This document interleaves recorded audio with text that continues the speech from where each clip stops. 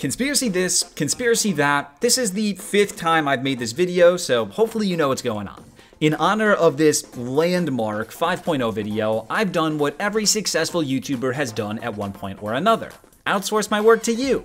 In my last conspiracy theory video, I asked you all to give me your best Big Brother theories, and there were so many good ones that I'm dedicating this iteration of the series to all of you lovely commenters. The five theories that we'll be going over were all taken from 4.0's comment section, and there are some absolute bangers. Did Cameron steal a house guest choice veto chip? Did Chima not actually throw her microphone into the hot tub? Today, we'll be going through those and more as we continue on this never-ending journey of theories. Consider subscribing if you aren't already, and without further ado, here are five of your Big Brother conspiracy theories.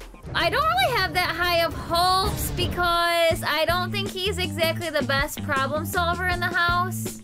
Sorry, Corey. Since I already teased it, we might as well start with it. The first conspiracy theory of the day is that after choosing the house guest choice veto chip in week 3, Cameron pocketed it and used it in future veto meetings. The house guest choice veto chip is almost always going to be the most desirable chip to choose because you can pick whichever player you want to compete. So there is a plausible motive here, but before we dive too deep into the theory, we gotta do some math and see how crazy the odds actually are. For this math, I assume that there were two house guest choice veto chips because that's the most that we've ever seen drawn at one veto meeting, and that's also the number I used in the last episode about Cirie's veto odds. So for consistency's sake, we'll assume that there's only two in the box for Cameron as well. After choosing the house guest choice veto chip in week 3, this is how Cameron's future polls looked. He pulled house guest choice in week 4. He pulled house guest choice in week 5, he pulled Matt in week 6, and then he pulled house guest choice one final time in week 9.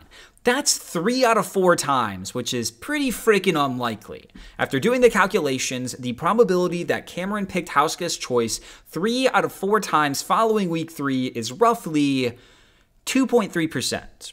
Those are actually right around the odds of Cirie's chip never being chosen, meaning that this isn't impossible. Improbable, yes, but not impossible. Plus, you would think that production would notice if they were missing a house guest choice chip, and I of course had to look at what Cameron was wearing when he drew the veto chips to make sure that he wasn't wearing long sleeves, and for the most part, his sleeves were rolled up enough to make me feel pretty confident that he couldn't slip it in there when his hand was in the box. So as fun as it is to say that Cameron stole a house guest choice veto chip and used it in future veto draws, I have to assume that Cameron just had very good luck, so I'm gonna say that this conspiracy theory isn't super likely.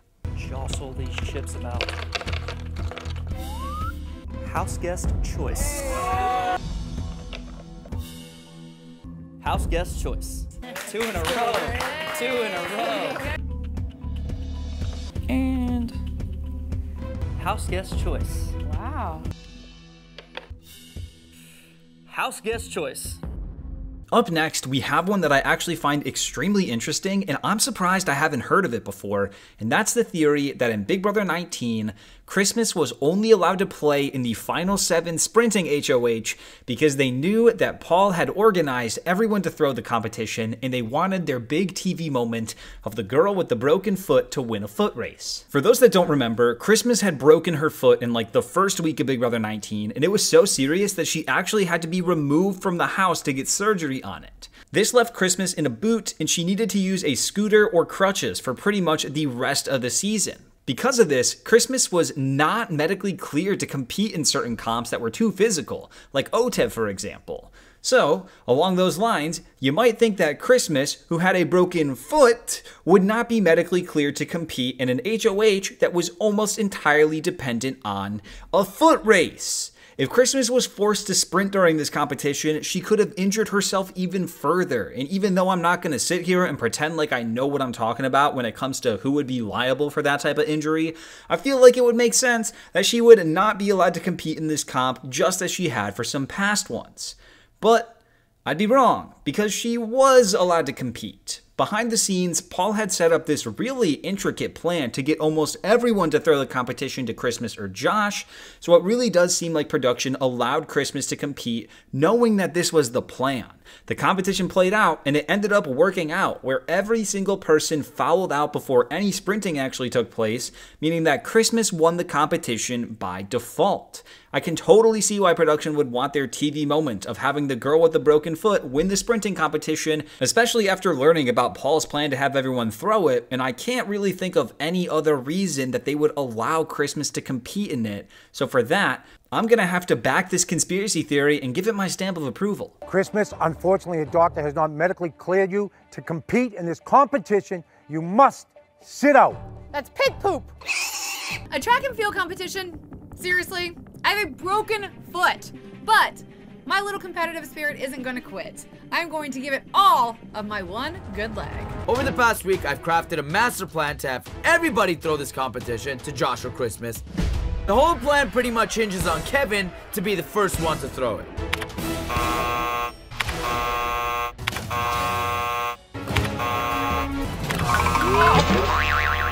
Christmas is the new head of household! I'm HOH. I literally can't believe that I pulled that off. I pretty much got the one-legged girl to win a foot race. I don't even have to make a joke. Up next, we have another competition theory, and although I can't find the specific comment, I swear someone brought it up under the 4.0 video, and that's the theory that the producers actually helped Corey win the Final Six veto comp in Big Brother 18 for some reason. The veto comp was a MacGyver themed escape room course that the players would go through one at a time, and whoever had the fastest time would win. The first room of the course saw a manhole on the floor that was locked in by a piece of wood, and the players had to figure out that the pipes on the wall were actually detachable and the key to getting past that first room. You can see all of the players look at the manhole and then slowly figure out that they need to look for some sort of key. Well, except for one player, Corey. Corey walks through the door and without even looking at the manhole, he goes straight for the correct pull. Maybe Corey is just extremely observant and figured it out in one second, but it seems very fishy that he walked in and immediately knew to grab the pole before figuring out what the puzzle even was. All the players had to wear earpieces that gave them small instructions on where to go, so it is entirely possible that Corey was fed information through this earpiece in order to give him an advantage. As to why production would want Corey to win, it's possible that they were rooting for Nicole and Corey over James and Natalie, who were on the block at this point, so by Corey winning the veto, it would ensure that he and Nicole were both safe. Corey did end up winning the veto, and the person that he beat was Natalie, which adds a little bit of credence to this theory. And although I do think that my justification as to why production might do this is probably wrong, it is just so puzzling how Corey knew exactly where to go in the first room that I have to assume that something was going on here. Escape through the secret tunnel. So I'm in the first room and I'm looking over at the manhole cover and I see there's two bolts with two different shapes. And I know that I need to find these shapes to open it up. I'm so confused. Uh, Escape through the secret tunnel. Escape through a secret tunnel. Okay. Escape through the secret tunnel. I get through the manhole. I feel like I got through that first room pretty quick. Honestly, I'm kind of like MacGyver. Or he's kind of like me. Up next, we have another Big Brother 25 conspiracy theory, although this is a bit of a strange one, so please bear with me. This is the theory that Big Brother 25 intentionally had a seven person jury, a power of invincibility, and the week long zombie battle back solely because they only wanted to have to rent the jury house for one month. For a little bit of explanation, in modern Big Brother, the jury stage of the game usually begins around the start of week 6, meaning that the jury house would start being occupied after the week 6 eviction, which is usually around day 44. However, Big Brother 25 had what felt like a never ending pre jury. As the week 4 eviction ended up being canceled due to Matt using the power of invincibility to save Jag, then week 8 was a week long dedicated battle back where nobody was evicted, and also the size of the jury went from 9 to 7, which added on an additional 2 weeks to the pre jury. So when you add in all of these additional weeks, that meant that instead of needing the jury house by day 44, it was needed on day 73. That is practically an entire month later than normal, and since Big Brother 25 is a 100 day season, that means that the jury house would only be needed for around 26 days. So CBS could feasibly save some money by only renting it out for a month. Now, at first glance, I was tempted to believe this, but then I thought about it more and realized how crazy it sounds for Big Brother to go through all of this trouble just to save a few thousand dollars in rent. It was likely just a series of coincidences combined with the fact that Big Brother thought it would be cool to bring back a seven person jury that led to the jury house only needing to be around for less than a month. So I'm gonna say that this one is likely not true, but it was still fun to think about. The BB power of invincibility has been activated. That means the house guest you just voted out is now invincible and cannot be evicted.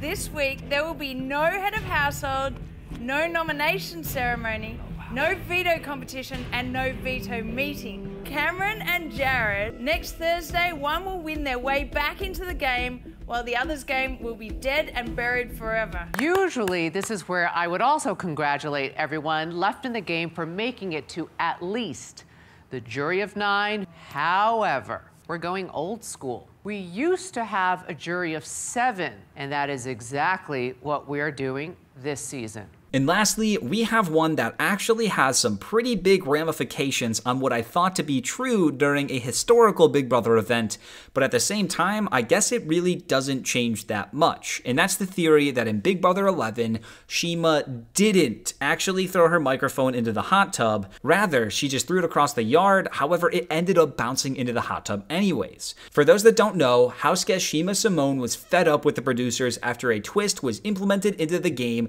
that sent her ally Jesse home on her HOH. So in retaliation, she stopped listening to the rules. This ultimately culminated with Chima throwing her microphone directly into the hot tub, which destroyed the expensive equipment and led to Chima's immediate expulsion. The episode portrayed that Chima intended to throw the mic directly into the hot tub, however, it seems like that might not actually be the case. Chima was standing pretty far away from the hot tub when she threw the microphone, so it's not super likely that her nonchalant underhand toss would land perfectly on target in the center of the hot tub. Going past that, on the Big Brother 22 live feeds, Kevin even briefly mentioned that the microphone actually bounced into the hot tub as opposed to landing right in it. Also, without getting too technical and into the physics of it all, the angle in which Chima throws the microphone does not match up with the angle that the microphone enters the hot tub. Chima throws it with a pretty strong vertical arc, but it enters the hot tub with a more horizontal arc, which doesn't add up if it was one continuous motion. Also, the clip itself is cut up, and we never actually see the microphone go from Chima's hand into the hot tub as one continuous shot. What does this mean at the end of the day? Well, it might mean that Chima wasn't intentionally trying to destroy the equipment, which is something, but she was still blatantly disregarding the rules and pushing the line for what was going to be allowed by the producers. So, although I do genuinely believe the theory that Chima didn't throw her mic directly into the hot tub, not much actually changes because of it. Did you get your mic? Thanks, because she wouldn't get it. You're welcome. Uh, Chima! Oh Chima! Chima! Chima grabs her mic, turns around, and just chucks it. No! I was mortified. It fell out of her hand. Yeah, fell. And there we go. I'm kind of locked into this series now, and I'm aiming to make at least 10 of these. So if you have a good theory and you want to be featured in a future episode, please comment it down below and I'll take a look. Anyways, thank you so much for watching. If you're new here, consider subscribing. I, of course, need to give that extra special shout out to all of my YouTube members and patrons who actually would have figured out the MacGyver puzzle faster than Corey. And, as always, here's a clip for you on your way out. I do feel betrayed because Matt said I will never put you up. He's no different than everybody else. And take two of these, one for you and one for Jag. Matter of fact, there's an extra for Bowie Jane.